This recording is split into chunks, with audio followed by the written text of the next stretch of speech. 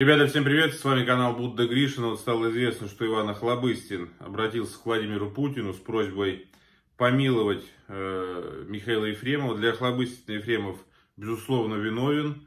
Многие стали э, также писать мне в Инстаграм э, о том, что как же так, э, мы же ведь понимаем, что столько белых пятен, как же для Охлобыстина он стал виновен и так далее.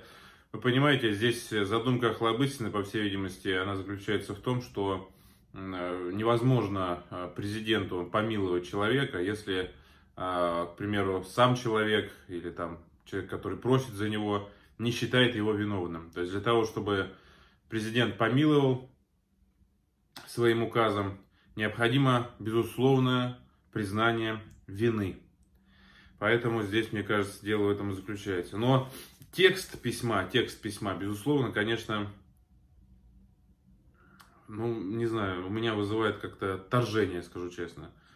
Конечно, здорово, что Охлобыстин, так скажем, написал это письмо. В любом случае, как сказать, что не сделай, но в плюс э, Ефремову может быть. В помощь, так скажем, что ли. Но сейчас я вам прочитаю, может быть, вы не слышали еще. Актер-режиссер Иван Охлобыстин обратился к президенту России Владимиру Путину с просьбой помиловать его коллегу и друга Михаила Ефремова, обвиняемого в смертельном ДТП. Об этом Охлобыстин написал на своей странице ВКонтакте. Значит, вот что он пишет. Президенту Российской Федерации Владимиру Владимировичу Путину.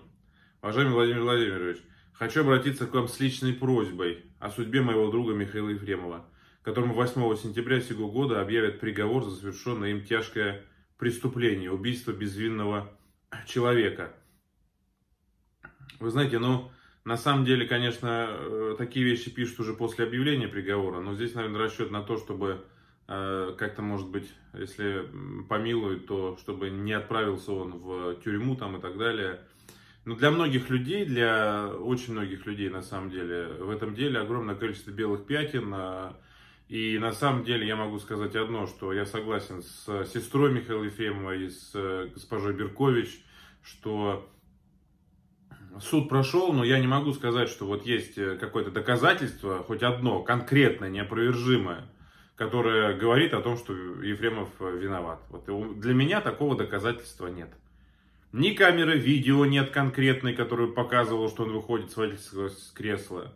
Следы есть чьи-то на подушке, еще кроме него. Отпечатков его нет на руле, говорит нам Ильман Пашаев, а есть другие отпечатки. Экспертизу подушки безопасности э, э, пассажирского отказываются проводить. То есть для меня, вот чтобы сказать однозначно, что вот как для зрителя, да, что вина Ефремова доказана и действительно, ну, вы знаете, есть какое-то, это страшно, наверное, прозвучит так, что ли, успокоение в душе в плане того, что понятно событие преступления, да, событие вот этого, так скажем, не преступления, а э, происшествие. Ясно, что там случилось. Вот я извиняюсь за выражение, но мне ни хрена не ясно, что там случилось. Как и миллионам людей не ясно, что там произошло. Более того, чем дальше и тем, чем больше доказательств предоставлялось, тем все более запутанным все становилось. Вот что самое главное. Хотя должно быть как-то, мне кажется, наоборот.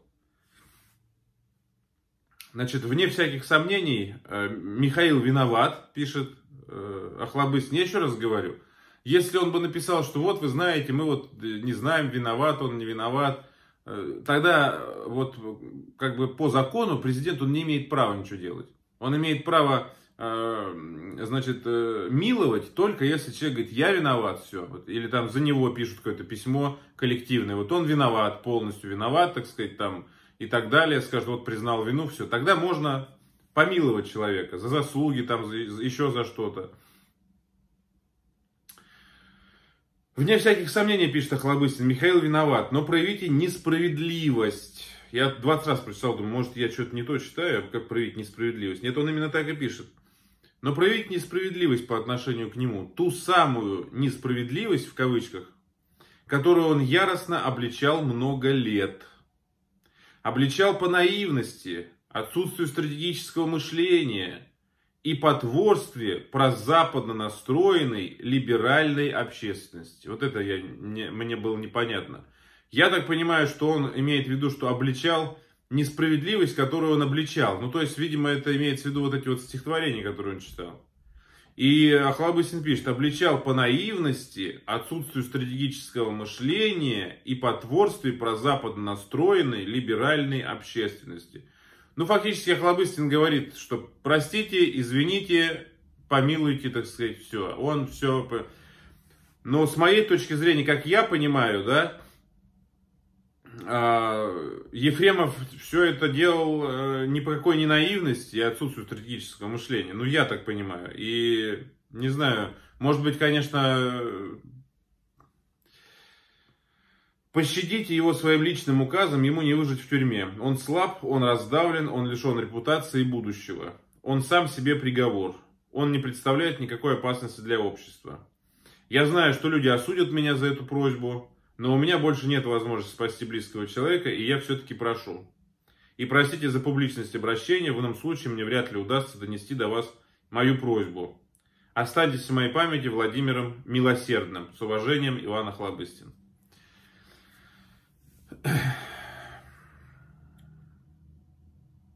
Вы знаете, с одной стороны, я еще раз скажу, Охлобыстин э, спасает там товарища, друга, как может. Вот каждый спасает, как ему видится. Вот ему кажется, что так правильно сделать. Он так правильно и делает. Правильно и делает так. Но само, сам текст письма, вот Охлобыстин, я понимаю, что для помилования этот текст письма такой. Но у меня сам текст письма вот не вяжется с Ефремовым, личностью Ефремова.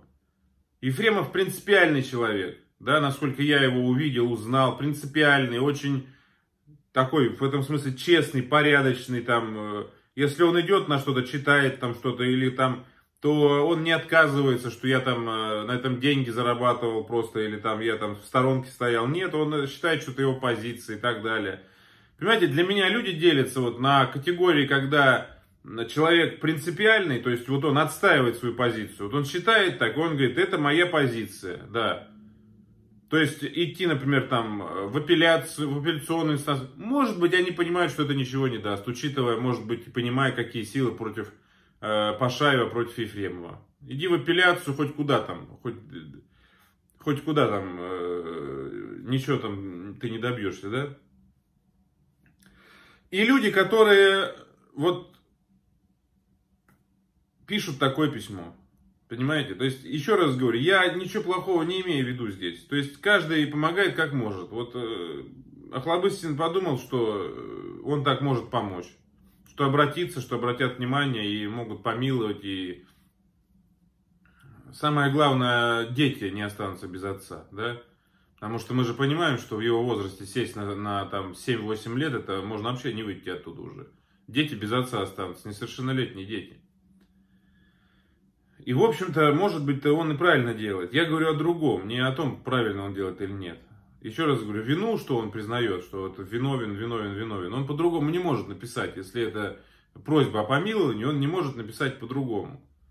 Надо отдать должное Хлобыстину. Это единственный человек, который из всех, из всей актерской братьи взял и открыто написал письмо президенту с просьбой помиловать Ефремова.